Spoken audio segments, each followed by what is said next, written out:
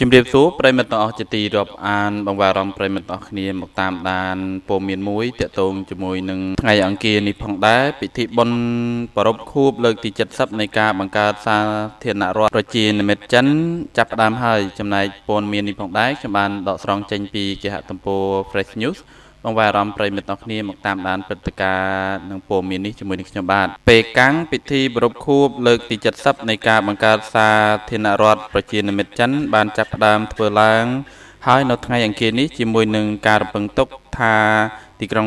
ពេលកាំងនឹងធ្វើព្យុយាត្រាសម្ដែងរិទ្ធយោធាដ៏ធំបំផុតមួយ ដែលមិនធ្លាប់មានពីមុនមក របស់ខ្លួន និងបង្ហាញអំពីអាវុធថ្មីថ្មីដែលផលិតនៅក្នុងស្រុកនេះបើតាមការចេញផ្សាយដោយសារព័ត៌មាន BBC នៅថ្ងៃអង្គារទី1ខែតុលាឆ្នាំ2019នេះព្យុយាត្រាយោធានឹងធ្វើឡើងនៅ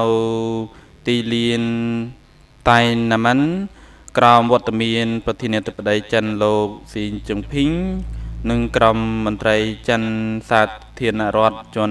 ដែលត្រូវបានជ្រើសរើសជាង100,000នាក់និងមន្ត្រីយោធាបរទេសមកពី97ប្រទេសផងដែរប៉ុន្តែ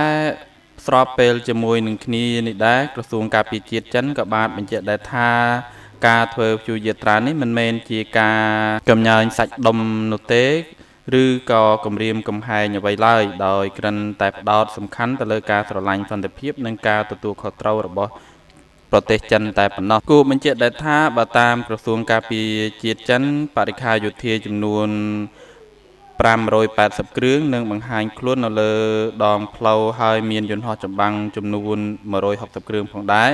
និងសម្ដែងការហោះហើរនៅលើអាកាសពុំមានតកតងជាមួយនឹងពិធីគោរពខួបលើកទី70នៃការបង្កើតសាធារណរដ្ឋប្រជានិមិត្តចិននៅពេលនេះឈានដល់ទីបញ្ចប់ហើយខ្ញុំបាទសូមអរគុណប្រិយមិត្តអរគ្នាដែលតាមដានព័ត៌មាននេះតាំងពីដើមរហូតដល់ចប់នៅពេលនេះខ្ញុំបាទសូមអរគុណនិងសូមជម្រាបលា